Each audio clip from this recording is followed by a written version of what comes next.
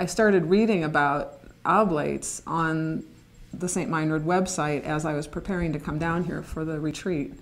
And at first I thought that this was not something that I could do. I think I really misunderstood the promises that an oblate makes to stability and obedience, and, and I thought that that was not something that I could do as a person who's living in the world and has a job and had two children. But once I came down here and went to the retreat and learned more about the rule of St. Benedict and learned more about the oblate community, I realized that it was something that really made sense to me.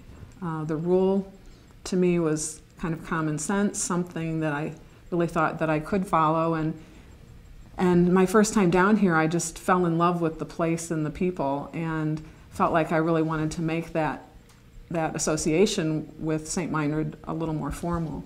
So that's how I was introduced to the oblate community.